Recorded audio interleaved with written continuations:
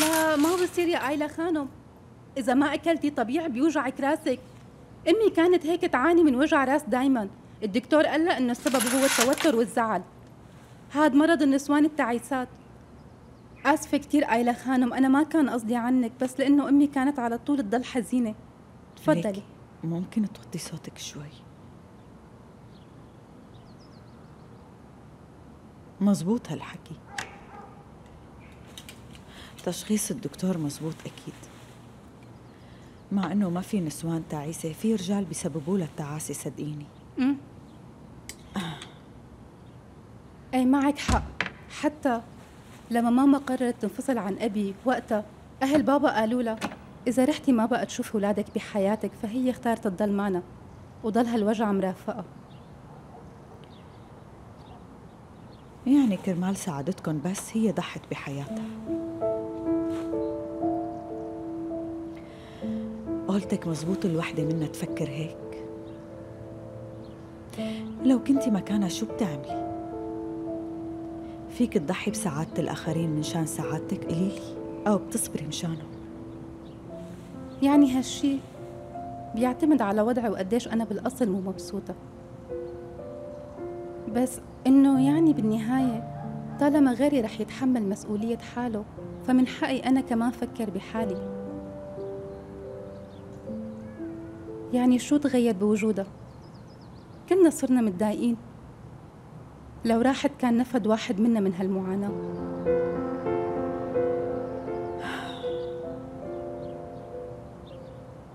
هي مستحيل هيك تحسبها.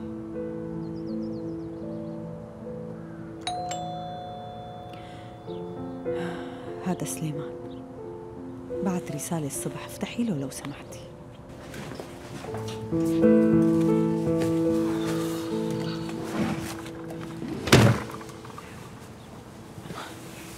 مالي خلق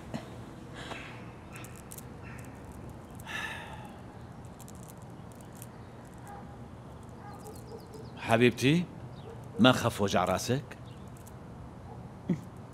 شكلها المسكنات تعبتني زيادة عفو منك ولا يهمك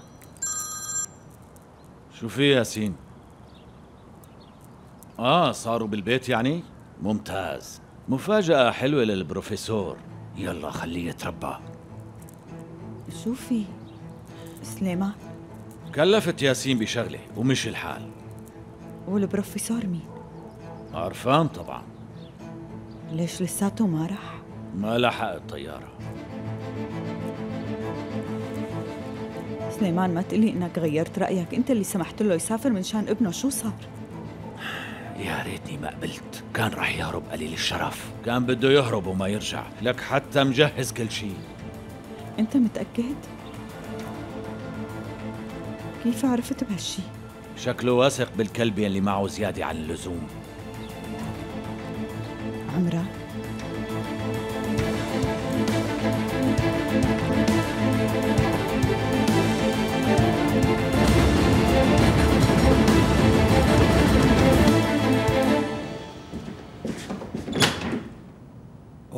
عايلة خانم أهلا وسهلا. لا أهلا ولا سهلا عمران. لك أنت قديشك؟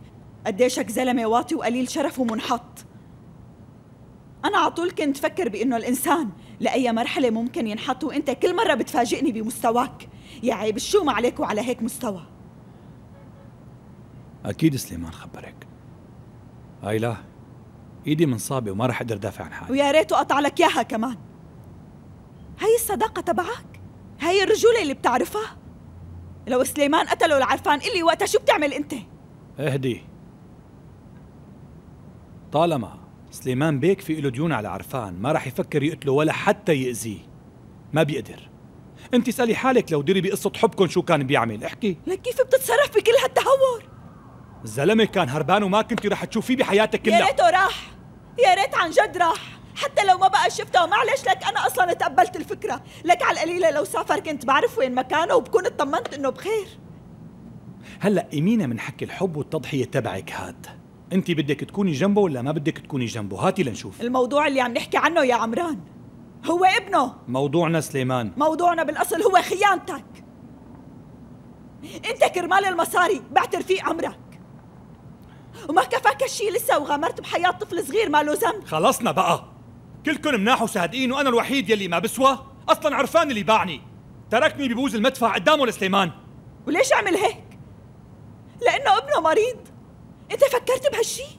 وشو ممكن يصير للولد إذا ما سوى العملية؟ روقي ما رح يصير له شيء أنا حاسب كل شيء شو طلع معك؟ شكلك ما بتعرفه لسليمان منيح. بشمينته كان رح يدفنك أنت وياه. أنت اللي شكلك ما بتعرفيه لعمران أبداً.